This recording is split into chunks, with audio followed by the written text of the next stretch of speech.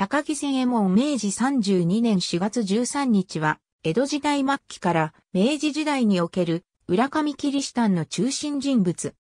非全国に子孫の義軍、浦上山里村本元京辻に生まれた。慶応元年の大浦における神と発見後、自分の家を秘密制度とし、浦上の伝道師を務めた。慶応3年の浦上4番崩れにおいて、神と82人と共に捕獲され、東国。拷問の末、地影門を除き全員が転ぶことを誓った。浦上の庄屋の家に留め置かれた後、桜町の六番楼に入れられ、さらに小島の牢屋に移された。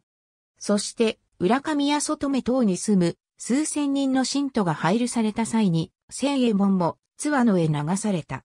明治6年2月24日の禁教令の解除により解放され、故郷に帰った。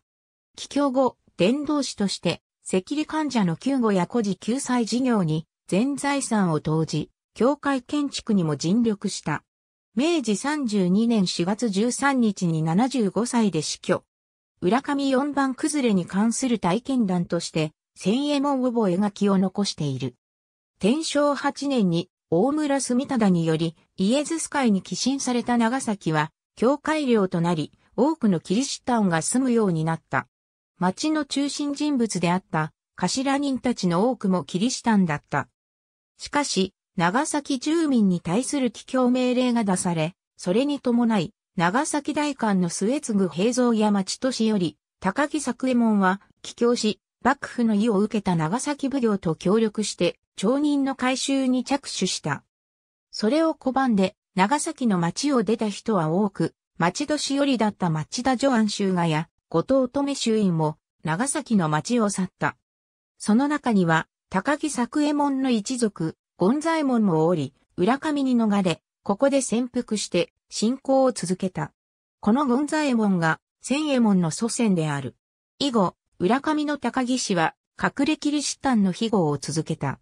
早孫、高木恵子は千右衛門に関して2004年学位論文を書いた。題は高木千右衛門に関する研究、覚書の分析を中心にして、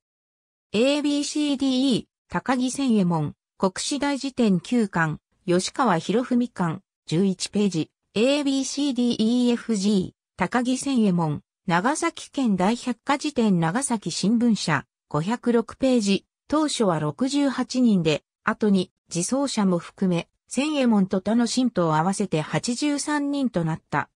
AB、長崎県の地名日本歴史地名大計43、平凡社、203ページ正確な人数は明らかになっていない。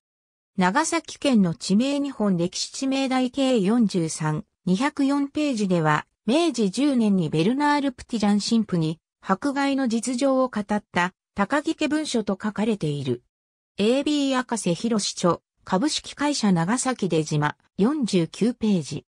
長崎県の歴史山川出版社167から168ページ。長崎県の歴史山川出版社、172から175ページ、富山幹夫、長崎歴史の旅朝日新聞社、121ページ、博士論文書士データベースによる。ありがとうございます。